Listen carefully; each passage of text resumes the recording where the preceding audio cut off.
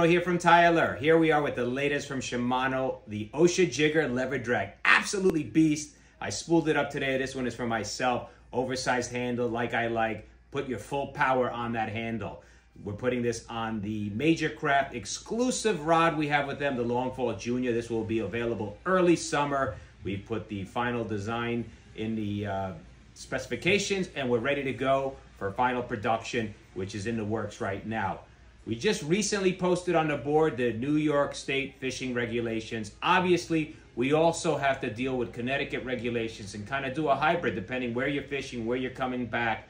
The regulations are confusing, guys. Print them out. You have different sets for different species of fish.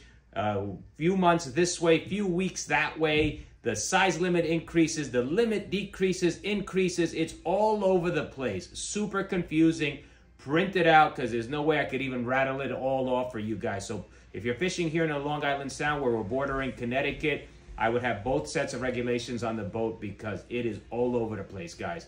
Come check us out, Tyalure.com. Open every day now, 7 a.m. to 7 p.m.